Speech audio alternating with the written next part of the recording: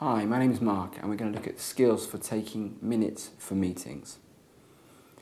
Key issues here are to remember that you don't have to be a secretary to take minutes.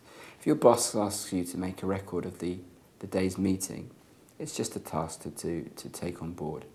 But the things that you need to uh, be aware of are obviously the tools required.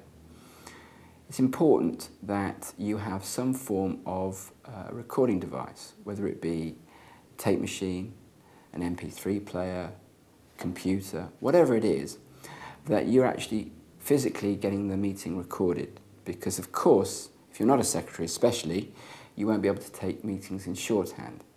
But you will need to have a piece of paper there and a pen to, take it, to, to, to focus on key points. So it's very important that key points are recorded. And also, if you're involved in the meeting yourself as a participant, that you are very much focused on what's going on around you. You also need to make sure that the people involved and the attendees uh, are recorded. So in other words, make sure that everyone who is invited is participating. It's a good idea to pass a sheet of paper, attendance sheet, around that everybody signs it.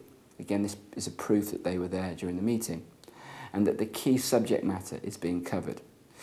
Other issues you need to focus on are time, date, location, uh, participants, and the key subject. Um, make sure that all of these are covered, and you should do fine.